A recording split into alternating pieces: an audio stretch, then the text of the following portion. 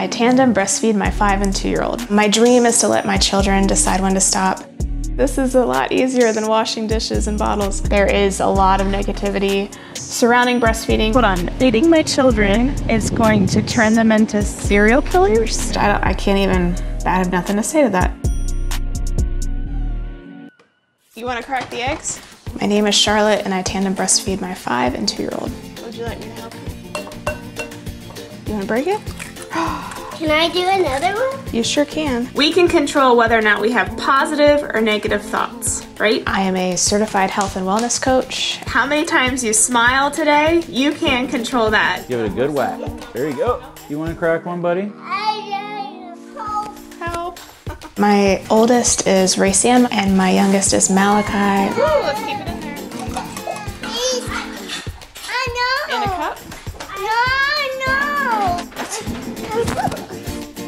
old are you?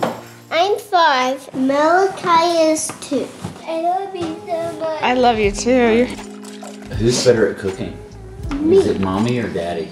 Um, You still? Tell me about a typical morning in the home.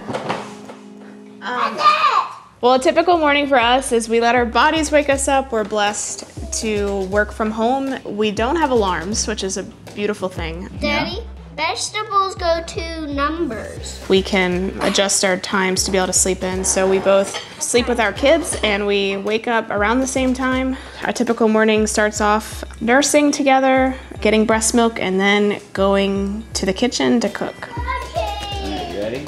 Okay. Slow mornings are our favorite.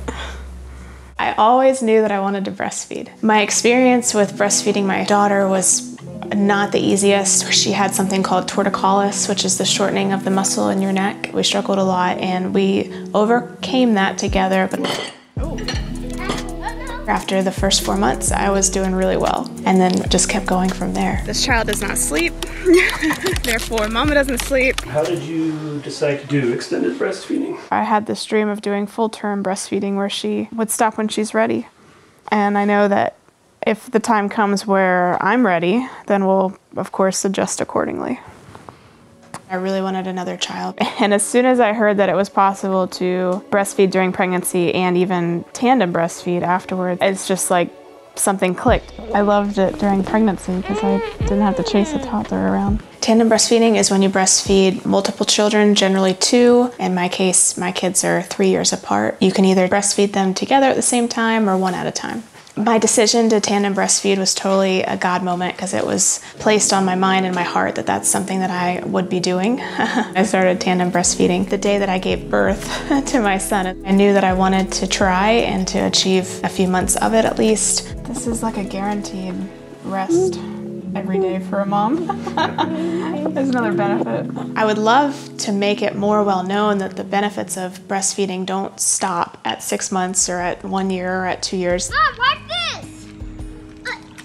There's nutritional benefits, there's behavioral benefits, emotional, social, and cognitive. I don't believe our kids get as sick as other kids do. I think they have a closer bond because of our decision to tandem breastfeed. You know, they sit still for a while and stare at each other in the face. At the beginning, they would hold hands while they tandem breastfed. Man, that's a heartwarming moment for a mother. My dream is to let my children decide when to stop. At one point, I thought maybe he would wean before she did, which would have been kind of wild. Uh, but I also know that when either party is ready, there needs to become a mutual understanding and agreement.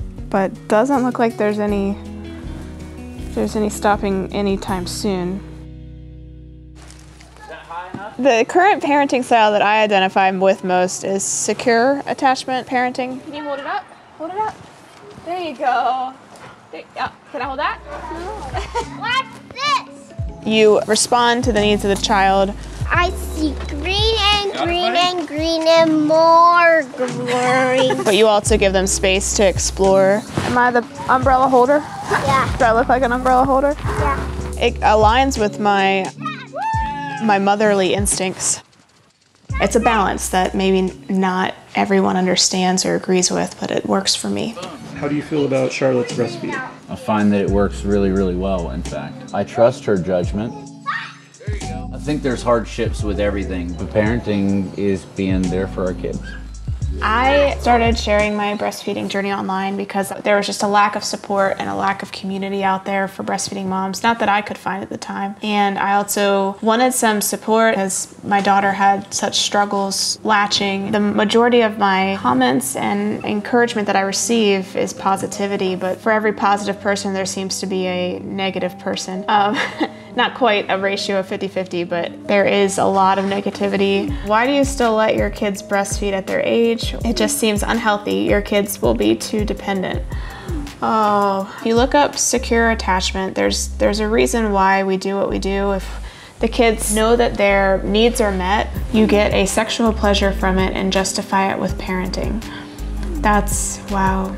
That's so sad. Sometimes I think mom gets addicted to having her breast sucked on. That's lovely. The typical, she's doing it for her benefit and not the kids, and that's absurd because they don't have the understanding or knowledge. Why should we so feed them until they're ready for marriage? I can't even, I have nothing to say to that. There's been comments where people say, just give her a sippy cup. and I would say, uh, are you coming over to wash the sippy cup? Because this is a lot easier than washing dishes and bottles. A gal said, What's going to happen when these children grow up and they look back and see these images that you've shared on your social media? You know, what are they going to think? And I said, Well, they're going to be empowered. That's truly how I feel about that. I haven't had anybody come up to me and try to scold me, but just some looks here and there. More, more shock than uh, disgust. And then I get comments like, You are an amazing mom. I think it's a wonderful bond you have with your kids. You're doing a great job, Mama. Oh yeah, look at mama go. And if I can help just one person, then that's enough for me. I continue to share my journey because it's ever changing. I want to knock it over. And I went from feeding just one to two, and it's probably the most important and beautiful thing I've done to date. I want to continue my journey, so if a mom wants to continue to breastfeed, I hope that my journey inspires them to do so. I've never known a high school kid to still be breastfeeding or a college kid, so one day my children will stop breastfeeding and maybe go on to have children in a family of their own. I hope that they can look back on what mom did and be inspired and proud as she shared her journey with integrity and love to support other moms.